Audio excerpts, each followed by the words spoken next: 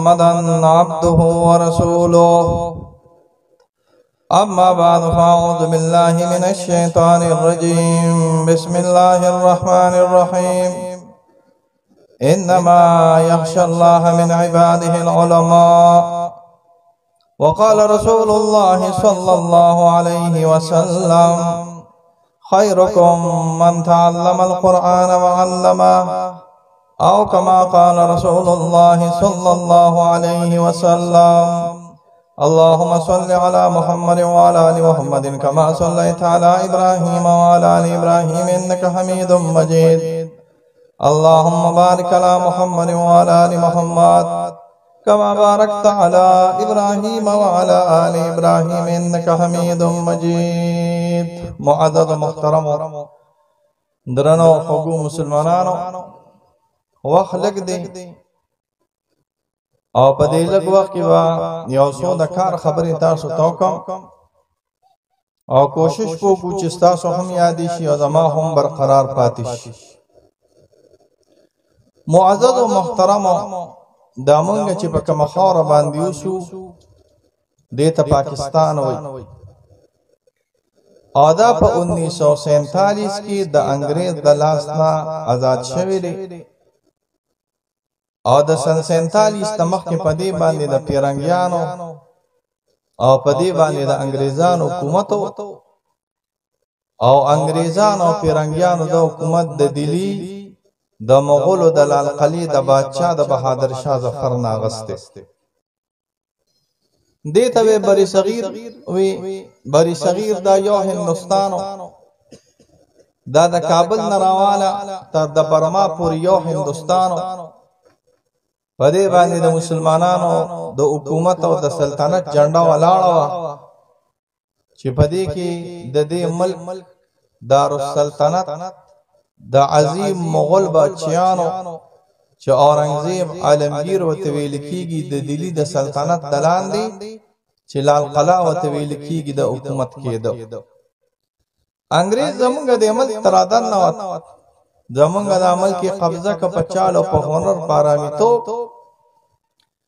بیا که تاسو اوریدلی په خپل مشرت علومو کې نو د دې ملک د آزادۍ لپاره دا ټول قومونه را پاسېدل او یو جنگ یو راځي من دا تقریر ډیر ضروری دا باندې شر کې یو جنگ یو کدال پاس متل کې یو جنگ یو کو هغه ته د 1857 جنگي ازادي وي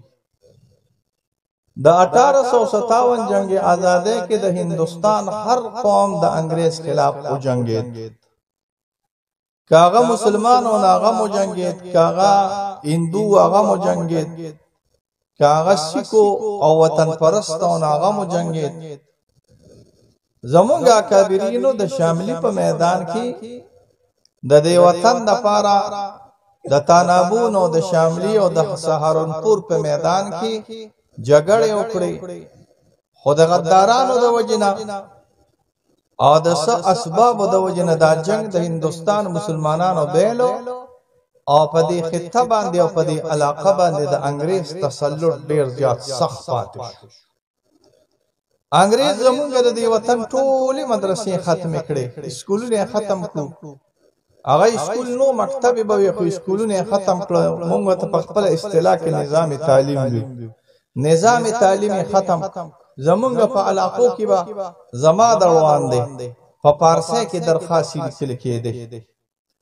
بلکې ما په سکول کې د استادانو نه فارسی ویلې و مدرسه پرې د پسکه په سکول کې زمونږ یو پارا ماستر صاحب په لیکلي استاد به وته هغه په فارسی وی ماته فارسی په سکول کې ویلې و او دا داړه بډاګانو کې چرته تاسو د خپل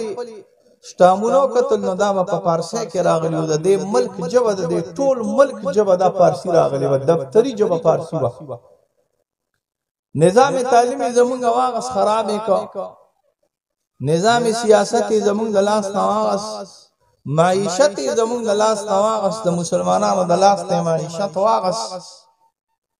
پدې کې په مسلمانانو کې دوه ډلې روچت شوې یو داسې د غټانو ډله وا مالدار مالدار خلک وغوي وی یو کالج جوړو هغه کالج ته نوم کې خود علیګړ کالج سنوم علیګړ دا دا زمونږ د هندستان پاکستان د غټ غټ نوابان نواب مقار الملک او نواب محسن الملک او سردار عبدالرب نشترو نمونه ځان سره یاد ساته او دا پلان کې خان او ډنګری خان دا ټول لا جمع شو او دوی په دلی سره خواته یو علاقه د هغه ته ویل کېږي علیګړ کالج جوړ دا مالدار خلک وو، دوی به چندې ډېرې کولې، د دوی په مقابله کې یو بل ځای هم جوړ شو، هغه کې اهل الله راجمع شو، د ډېر ښکلي پاک باطن سینو والا خلک راجمع شو، مولانا قاسم نانوتوي رحمه الله، مولانا یعقوب صاحب، مولانا شیخ الهند صاحب، شیخ الهند صاحب خو وروسته هوښیار دی، خو زموږ اکابرین راجمع شو،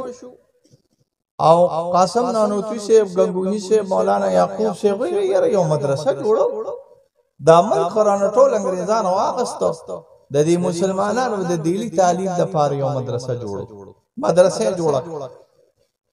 په هندستان کې دوه فکرونه جاری یو د علیګړ د سیکولر تبه والا خلک دا سونه خلک چې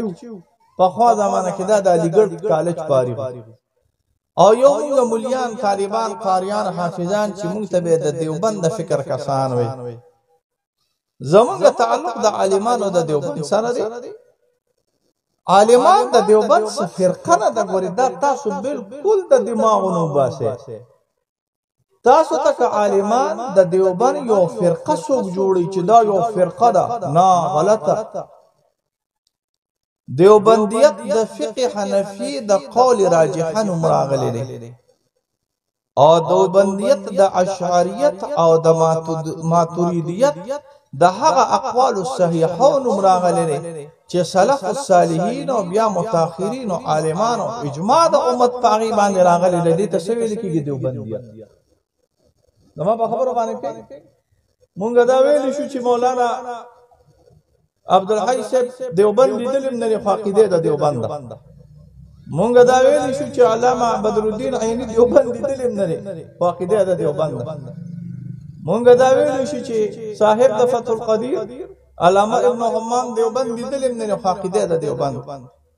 مونږ دا ویلو شو چې د ابن حجر نه وروسته دیوبند له 300 کال وروسته پیدا شوی 600 کال وروسته فقیده د سره راغلی د دیوبند دیوبند حق ته ویل کېږي دا یو فرقه نه راغلی چې دا د یو څو کسانو د نظریې نوم راغلی دی چې پلان کې دی او پلان کې دی او پلان کې دی دا دیوبند نه سلور مذاهب حق چې را جمع کې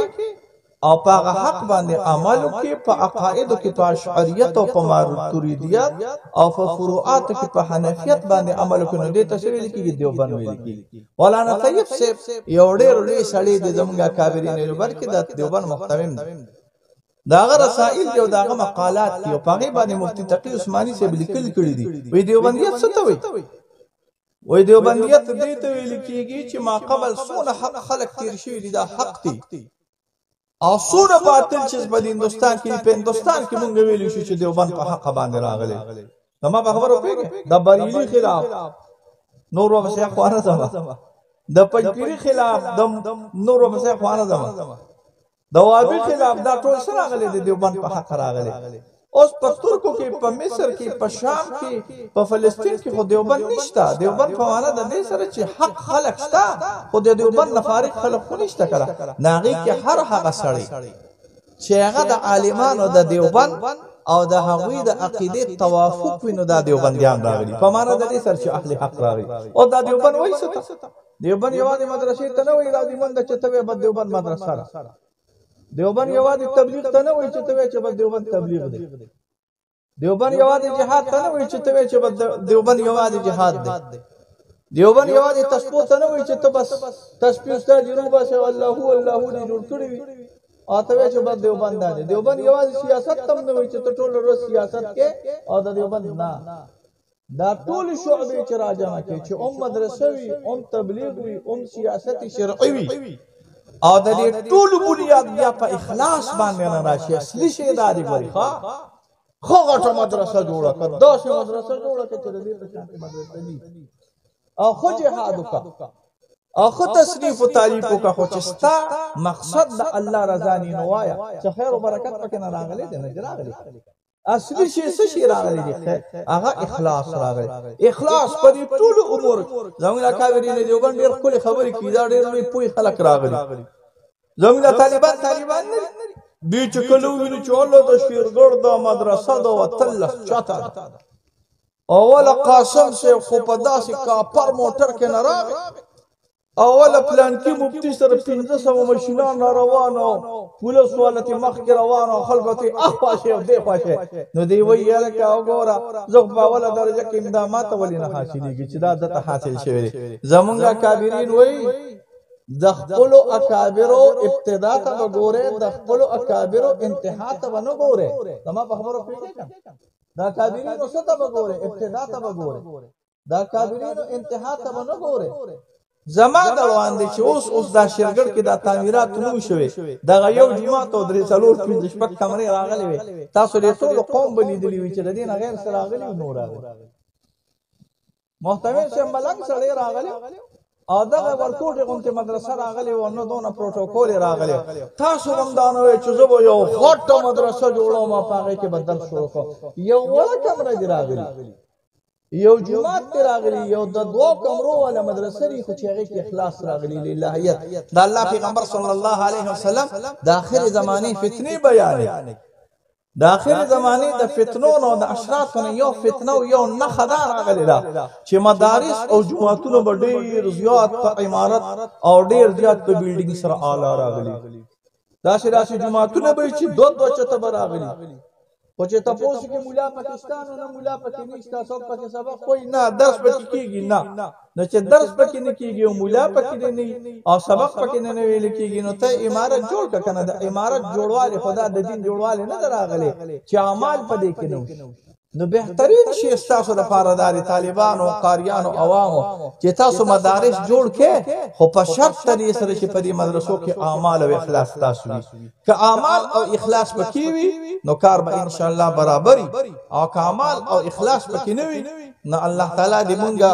مونږه وته په خپل علاقه کې په چار سره کې د درمسال خټي وي وو سوې وته د درمسال خټ زمونږ نه زړو خلکو به وي یا الله د درمسال له خټو نم په امان کې وسات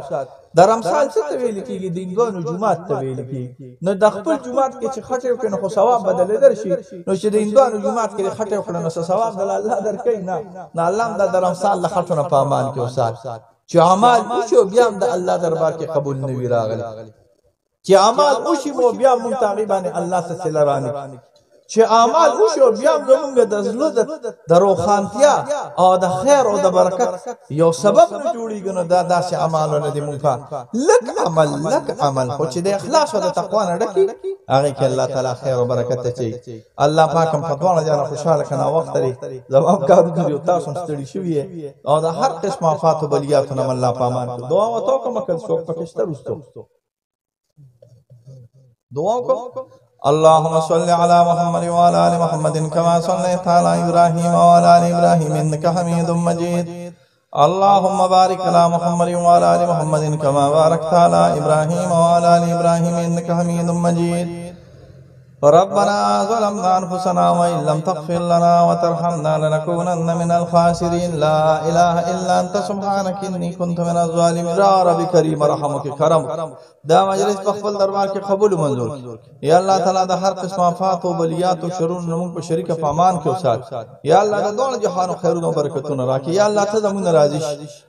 د ټولو نه لوی نعمت د ټولو نه اعظم او د ټولو نه قوي نعمت هغه ستا رضا ده که دا ټوله دنیا زمونږ نه راضي شي او ته نه ناراضه یې یا الله مونږ نقصان کړي او که دا ټوله دنیا نه نه ناراضه شي او ته رانه راضي نو یا الله مونږ په ګټه کړي یا الله پاکه ته زمونږ نه راضي شي یا الله آخرت هم په شریک باندې خک